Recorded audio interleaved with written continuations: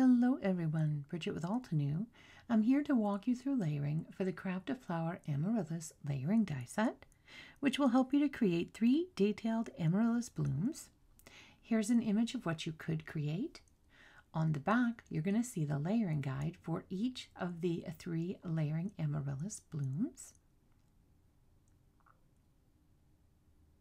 Over on the side, you'll see the inks used to create the project shown right there. We're going to have a quick look at the dies that come. You'll receive 10 dies to create your projects. And here are all of the pieces laid out in the order in which we will be using them today to create our project. Let's get started on the keyhole flower. We'll align keyhole 2 with keyhole 1. Next, we'll align piece 3 using the keyhole. At the end on the stamen, we're going to align the little yellow piece using the top curve of the end there on the top. Next, we'll use the curve right next to the keyhole to align the petal, and that'll complete our first amaryllis. Next, we'll do the arrow.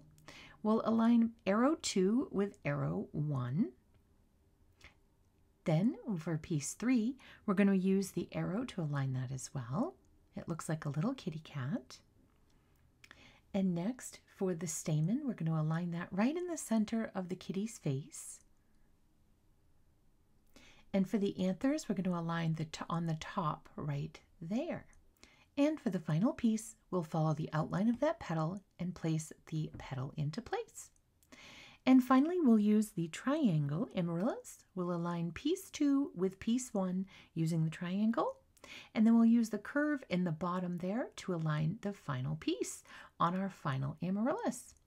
I hope this video was helpful in layering together your Craft a Flower amaryllis.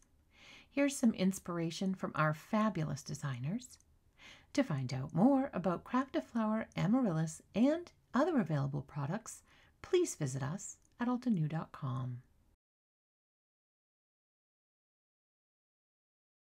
Hey there, Lydia here.